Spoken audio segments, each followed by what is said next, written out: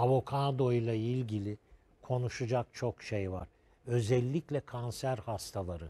Bak, kanser hastalarının tüketmesi demir emilimini artırır. Ke- Kemik erimesi şikayeti olanlar kalsiyum emilimini artırır. Yani çok sağlıklı ve içinde yağlı bir meyvedir doğru ama sıfır kolesterol var. Yani avokadonun e, özelliğini burada söyleyelim.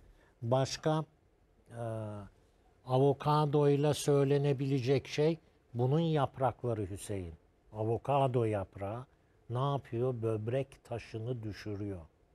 En büyük özelliklerinden bir tanesidir. Çekirdeğini çöpe atmayın. Evinizdeki saksıya dikin. Bekleyin oradan avokado çıkmaya başlar. O olur mu hocam? Yani diktik çıktı, Evet. filizlendi, büyümeye başladı. Sonra daha geniş bir yere alsak ürün verir mi? Tabii aşılarsınız. Aşılamak lazım. Yabani olarak çıkar.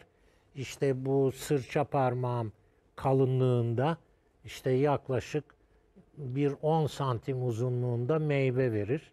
Hı hı. Ee, Böyle ama en azından efendim Hocam çayınız da şimdi ha, e, oraya geldi. O da bekliyor, soğuyacak. E, içinde de ben zencefil mi görüyorum hocam? Ne görüyoruz? ya Ne içiyorsunuz hocam? O, ça- Şimdi- o ne çayı öyle? vallahi Bir karış, güzel bir şey yapıldı size. Tarçın Ya. var. değerli izleyicilerimden özür diliyorum. Ben Şöyle. pek insanların Kapağı sakat da o önünde yüzden. Ben alayım hocam. Evet, insanların önünde e, yiyip içmem ben. Şimdi efendim Hocam birkaç yudum alın lütfen. Siz de bu e, çok yorgunsunuz. evet Lütfen. yani şimdi bu e, avokado ile ilgili olarak bak özellikle kanser hastaları yani bulunmaz bir nimettir bu.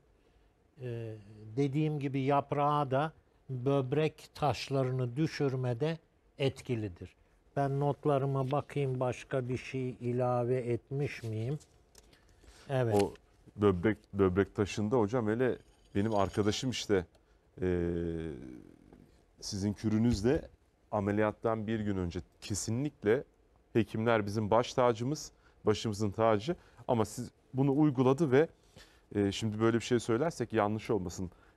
Böbrek taşından kurtuldu. Sakın ha ameliyata gitmeyin. Sonra bu sonucu çıkartabiliyor değerli seyircilerimiz. Özellikle Hayır, sizin hayır. söylediğinizden defalarca söylemenize rağmen. Tabii. Yani bakın burada modern tıp esastır. Biz burada yardımcı, destekleyici sizlere kürler öneriyoruz.